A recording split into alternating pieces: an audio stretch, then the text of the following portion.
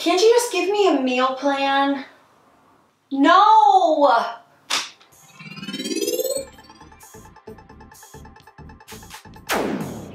Hey guys, welcome back to my channel. Today I'm going to be telling you five plus one little extra reasons why meal plans do not work. If you like videos like this one and want to hear more about health and fitness and how to live a happier and healthier life, hit the subscribe button and ring the bell for notifications. Comment down below if you've tried a meal plan, how it worked out for you, and have you done all that? Okay, let's get started.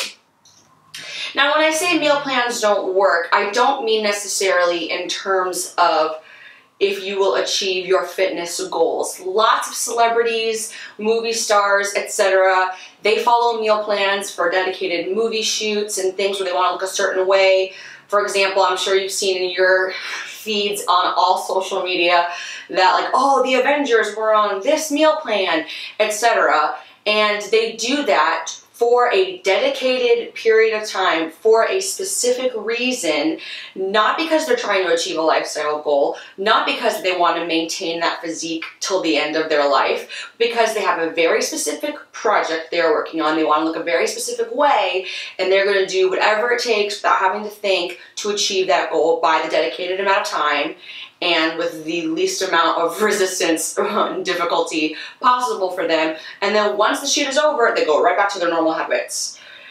That's a whole different situation than 99.9% of us. Sure, maybe you want to lose weight for a wedding. Sure, maybe you want to lose weight for a photo shoot if you're a professional athlete or whatever. An actress, okay, maybe you want to lose weight for a vacation. Okay, but you have to ask yourself, are you okay with going back to what you looked like before at the end of the meal plan? Because that's what's going to happen. And that brings me to the biggest reason, main reason, number one, that I do not work with meal plans and most coaches do not work with meal plans is because they don't teach you anything. They teach you absolutely nothing you follow these steps, you follow the meal plan, and then what happens at the end of the 30 days, 60 days, whatever how long the meal plan is, you don't know what to do. You have to keep eating out of that meal plan and you've learned nothing. You've learned how to follow a recipe. That's why you see some people who cook their whole life and they do really well without using a recipe, they can come up with their own dishes, etc. Whereas people who've never experimented and always follow the recipe, they can't create anything because they've only used recipes their whole life. Does this make sense? You don't learn anything on a meal plan because you don't learn about nutrition, you don't learn about ingredients, you just learn how to read a piece of paper and follow directions. I give my clients specific macros to fit within their lifestyle and to follow so that they can learn how to make a plate, learn how to intuitively eat. Eventually they won't have to track macros. There are so many ways to build a lifestyle and learn for a lifestyle and doing a meal plan is just simply not to do that. A perfect example is my own personal story. If you haven't seen my before and after, I will put it right here. I have maintained a 75 pound give or take 5 or 10 pounds depending on the time of year. Weight loss I did a million different things and learning how to eat myself and in the science of what foods do for your body is what led me to be able to maintain this weight loss.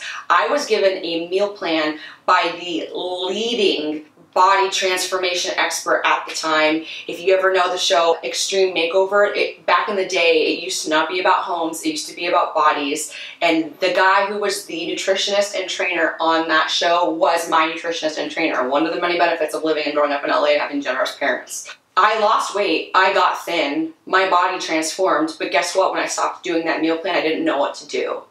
So even working with the top person at the time, who just told me what to eat and when to eat it that didn't do anything for me mentally. I didn't know the whys, the ins and outs, and without that information, it's only going to be a temporary solution. So use me as an example.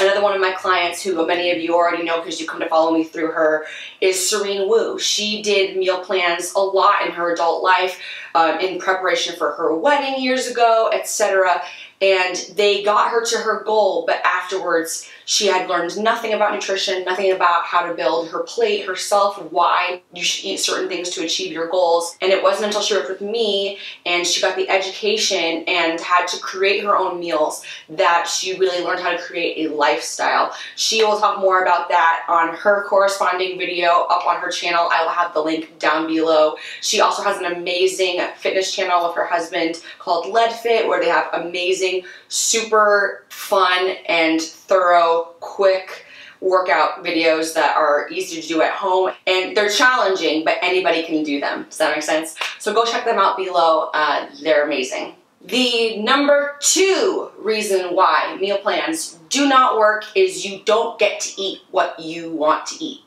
Now you're thinking you don't get to eat whatever you want on any sort of macro plan either. Sure sure sure. That's not what I'm saying. What I'm saying is you have to eat oatmeal at 2 o'clock every day or what have you. You have to eat salmon on Fridays at 7. Do you know what I mean? You don't get to pick what you eat. You are stuck with whatever the meal plan tells you to do, and then you either have to switch it around or figure it out in order to accommodate or modify the meal plan. Very often you cannot modify the meal plan, and that is why it is just 90% of the time a one size fits all. A big issue is that meal plans are one size fits all cookie cutter things. You pay $39.99 and you get sent this basic generic meal plan that everybody gets regardless of how much you weigh, your height, your body mass index, your body fat percentage, your total daily energy expenditure, your activity level, none of these things are factored into this meal plan. You get what everybody gets and good luck with that and you get no personal coaching, no personal thoughtfulness, your macros for your specific body and your needs and your lifestyle are not taken into account 99% of the time when it comes to meal plan, that's a whole other story. So yeah, you don't get to pick what you eat. What's great about macro counting is that you get to decide how you fulfill those nutrients. Sure, you can't eat whatever you want, but 90% of the time you can kind of make it fit in your macros depending on what lifestyle you're on, whether it's high fat, low carb, uh, low fat, high carb, it doesn't matter what your eating style is. Usually you can make it fit and you can make a different meal every day, different meals all the time, figure out ways to experiment, to fit. It's like a little Tetris puzzle that you get to put together every day just for yourself. That teaches you what foods can help achieve your goals because you're doing it every day. You're crafting this puzzle yourself, and that's why you get to have the education and learn, and then eventually you can intuitive eat. If you don't know my whole philosophy on eventually intuitive eating, then please, please, please go watch my intuitive eating video. I will have it in the cards up above. And if you haven't watched my video on macro counting and why I feel like it's beneficial, then I also have that video up above in the cards as well you get to pick what foods you eat when you don't use a meal plan. And when you do use one, you don't. So that's another downside. Pairing along with number two, my number three version why, version? Version. My number three reason why meal plans don't work is that you will get bored. People get bored. It is very hard to create a different set of meals more than like a week at a time and even if your meal plan does give you that, you will get bored. You don't get to decide. You don't get to have variances. You do the same meal plan for 30 days and then what? 30 days is one month in the span of your entire life is a drop in the bucket. That is not enough time or variety and not having the ability to choose and change up your meals or veer from the plan makes it very hard to stick to, which then makes it a waste of money. And then why are you doing the meal plan in the first place? Which brings me to number three, four, which brings me to number four. If you get bored with your meal plan, or you don't feel like you have control to pick the foods that you want to eat, you will not stick to it. You will make an excuse, you will find a reason to get out of it, and then eventually the meal plan will not work for you.